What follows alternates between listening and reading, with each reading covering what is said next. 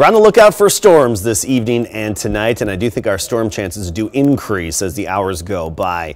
First, closer to the border, second around the hill country, and then potentially even making it to San Antonio. And there is the chance of some severe storms, especially west of Highway 281 all the way to the Rio Grande this evening and tonight. Tomorrow morning for the morning commute, that activity should have dissipated, just a 30% chance of showers then. We get to the noon hour and thereafter tomorrow, and it's likely to see new storms develop, some of which could be strong, with flash flooding really, though, being the primary threat going forward.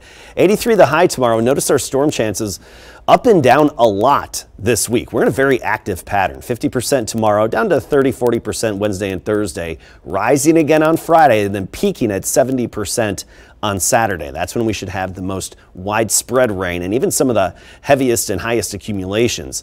We could very well see over three inches of rain around most of San Antonio between now and the end of Mother's Day.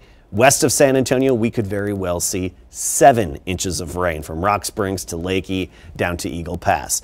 With this kind of active pattern, temperatures remain in check. The warmest we'll get is 86 on Thursday, and the coolest high is going to be 80 this upcoming weekend.